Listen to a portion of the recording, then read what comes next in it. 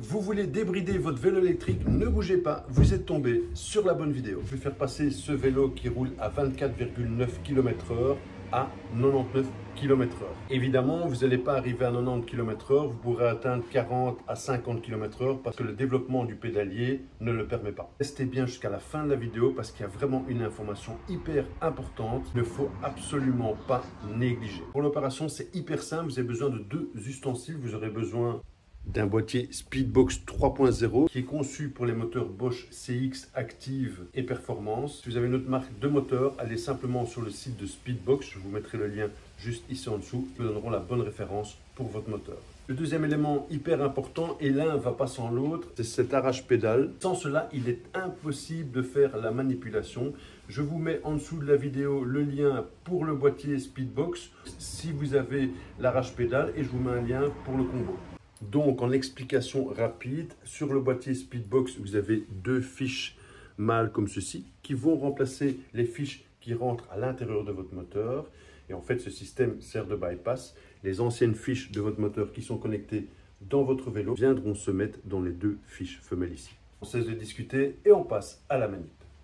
Donc il faudra enlever la pédale, regardez bien l'alignement, je suppose que vous serez remonté ça correctement. Il faudra enlever toutes les vis Torx qui se trouvent ici. En tout cas sur mon vélo, sur le vôtre, ça peut être complètement différent. Pour enlever la pédale, je me sers dans un premier temps d'une clé Allen comme ceci. J'enlève l'écrou. Attention, très important, faites attention au petit joint, ne pas le perdre, c'est important pour l'étanchéité. Je vais donc maintenant visser dans le pédalier l'arrache pédale. Vous pouvez le serrer à la main sans problème. Je visse le second écrou, ça va me permettre d'enlever la pédale. Je de la même clé Allen. Je vise donc jusqu'au temps que la pédale s'enlève.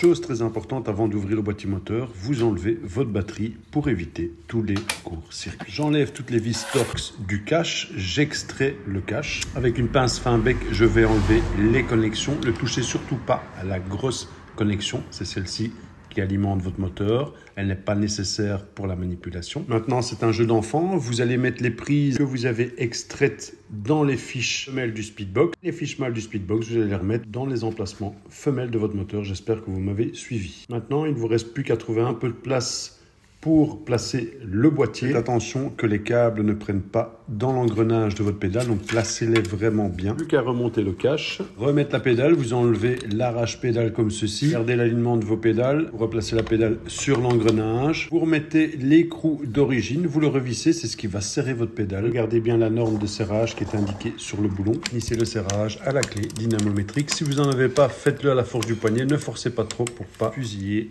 pas de vis de la pédale. Pour placer bien évidemment votre batterie. Alors la manip pour débrider le moteur sur mon boîtier, qui est un Bosch Nyon, est la suivante. Vous avez un autre modèle, pas de panique, vous allez sur le site de Speedbox, tout est vraiment bien indiqué. Dans mon cas, j'appuie sur Walk, plus et puis moins. Il faut qu'il soit en mode turbo. Et là, ça indique bien 9,9, soit 99 km/h. Pour remettre le moteur à 24 km/h, c'est exactement la même manipulation. Ici, je suis en mode normal, donc non débridé, je pousse.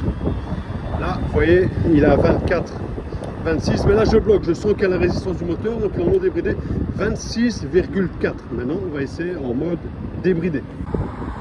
Donc en mode débridé on est à 26,4. Là je pousse de nouveau, même trajet identique. Et là regardez, sans pousser, je suis déjà à 30.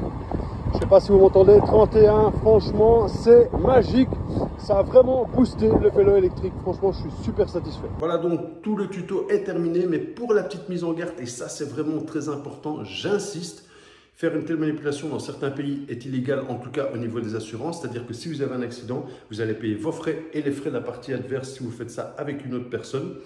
Certains pays, comme ici en Belgique, exigent la plaque d'immatriculation, une assurance et en plus une telle manipulation pourrait engendrer une défaillance de la batterie et du moteur. Vous êtes des adultes, vous savez ce que vous faites. Moi, j'ai fait cette vidéo là juste à titre informatif. Le boîtier Speedbox est en vente. Je vous montre comment il fonctionne. Voilà, c'est à vous de prendre vos responsabilités. J'espère que vous avez aimé cette vidéo. N'oubliez pas de lâcher un petit pouce bleu. Pourquoi pas un petit commentaire. Si vous avez des questions, laissez-moi également un commentaire. J'essaierai d'y répondre dès que possible. Je vous dis à plus pour d'autres astuces.